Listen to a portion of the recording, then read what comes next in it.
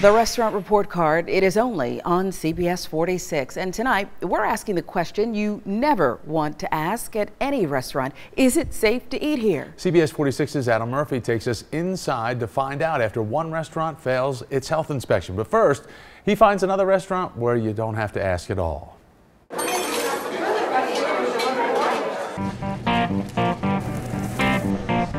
It's not easy to find a restaurant that has a perfect 100, but how about nine in a row? I found the spot. We're at Table and Main on Canton Street in historic Roswell, inside this really old home that's more than 100 years old, but beautifully refurbished. And when you're in here, you know that they focus on Southern and seasonal, and they use local ingredients. So everything is absolutely delicious. We're going to tell you about what they do have here on the menu, but first, here's this week's Best and Worst Scores. We went looking for the manager of a popular seafood restaurant this week on Cobb Parkway in Atlanta.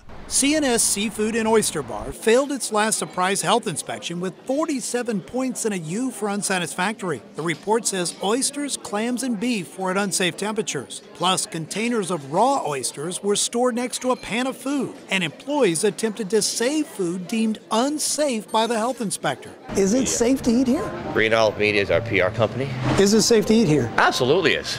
On the way out the door, we noticed management posted the wrong health score. They had this 100 on the wall that is nearly four years old. yeah, but you guys know to put the you know to put the right score on. Keep keep reporting, but just drive safe.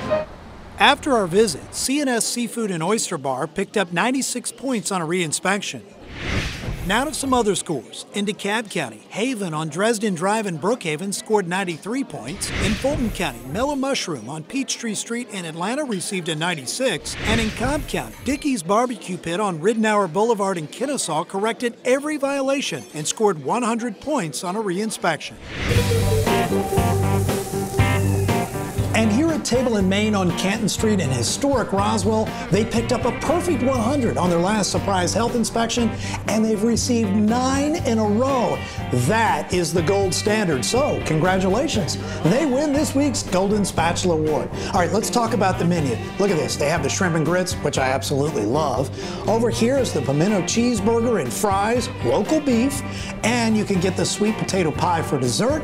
But I have to go with the shrimp and grits. It is my all-time favorite. We'll see you guys next week. Boy, that's good.